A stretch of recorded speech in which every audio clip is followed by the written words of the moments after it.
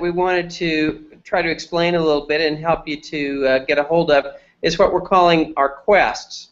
And these are it's a it's a list of skills and abilities that you will acquire, we hope, throughout the course. And we're providing um, in kind of an organized way to show us for you to demonstrate that you have achieved some of these things.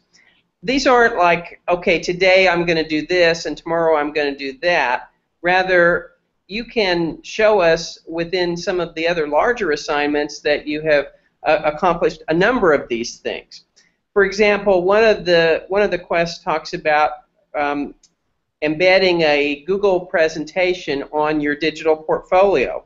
Well, there's another one that talks about um, understanding digital citizenship. So within the, the preparation of your of your Google presentation, it might be about digital citizenship, and then you're putting that on your digital portfolio, which satisfies several of these different learning quests that we're talking about. And there's lots of things that you'll have the opportunity to do like that. These are kind of, um, as we've said, they're, they're skills, but they're not um, these are things that you're just going to end up doing every day.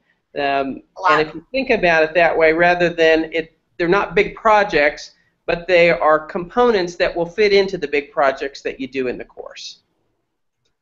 Yeah, totally. I just want to emphasize that a lot of those things are just going to come out naturally in what we do in class, and it's not going to be an extra thing that you do. So we've got uh, 60 some things, but it's not 60 assignments. It's you know, feel free to say, hey, I did 10 things in, in one activity. And as, as you just go through what we do in class and you go down the list, you're like, hey, we did that. Hey, we did that. So it's just a matter of submitting some evidence that you did those things. So hopefully it won't be any big deal. And you don't have to do them all.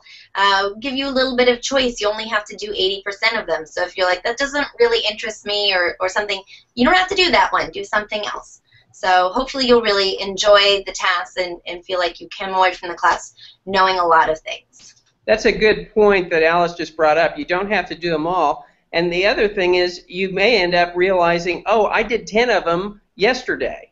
So what we're going to do is we're going to provide you with a real easy way to keep track of those using a, uh, Google spreadsheet to where you can actually monitor what you've done and provide us with evidence on an ongoing basis of what you're doing. So it's not something you have to hurry up and do at the end of the class. These are things that we expect you to keep track of as we go along, and you should be do, you should realize that you're doing probably um, five to ten of these every week. For sure, at least. Uh, it,